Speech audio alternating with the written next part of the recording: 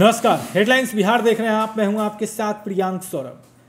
नेता प्रतिपक्ष तेजस्वी यादव को एक बार फिर से बड़ा झटका लगा। अब आप सोच रहे होंगे कि ऐसा क्या हुआ। दरअसल, तेजस्वी यादव जब से चुनाव खत्म हुआ है, चुनाव में हार मिली है, लेकिन वो जब से सक्रिय, दोबारा सक्रिय हुए हैं, नए साल में जब पटना उनकी वापसी हुई तो उन्होंने एक ऐलान किया कि वो धन्यवाद यात्रा निकालेंगे। करीब एक महीना पहले भी उन्होंने इस बात का ज़िक्र किया था कि वो खरमास के बाद बिहार में धन्यवाद यात्रा निकालेंगे, तमाम क्षेत्रों में जाएँगे। इसके लिए लगातार वो बैठक भी कर रहे थे। खरमास के बाद भी अपने तमाम प्रत्याशियों के साथ उन्होंने बैठक बुलाई थी। उसमें तमाम विधायक जो उनके प्रत्याशी विधानसभा में थे, वो सब और पार्टी के तमाम प्रत्येक जो पदाधिकारी थे, उनके साथ उन्होंने मंत्रणा भी किया था।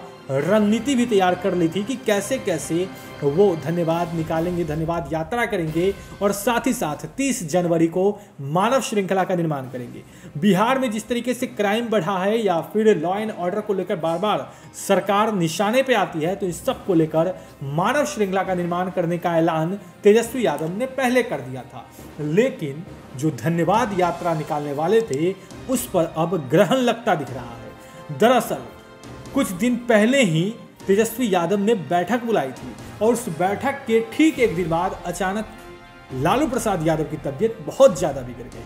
तेजस्वी यादव बिहार में धन्यवाद यात्रा की तैयारी कर रहे थे, अपने नेताओं के साथ बैठक कर रहे थे प्लानिंग कर रहे थे कि कैसे क्या कुछ करना है। वहीं राजद सुप्रीमो लालू प्रसाद यादव की तबीयत बहुत ही ज़्यादा बिगड़ गई, जिसके बाद तेजस्वी यादव, तेज प्रताप यादव, राबड़ी देवी तमाम नेताओं को तुरंत रांची रिम्स पहुँचना पड़ा। लालू प्रसाद यादव से उन्होंने मुलाकात की। उनकी हालत को देखते हुए उन्हें दिल्ली एम्स भेजा गया और अब तेजस्वी यादव दिल्ली के एम्स में है, अपने पिता का इलाज करवा रहे हैं, वहीं पर मौजूद हैं।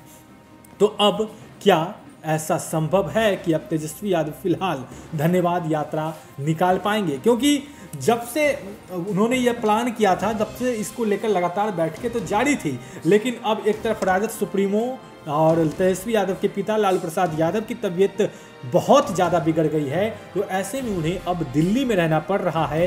तो फ़िलहाल ऐसी संभावना कम ही दिख रही है कि तेजस्वी बिहार अभी लौटेंगे और वो धन्यवाद यात्रा पर निकलेंगे।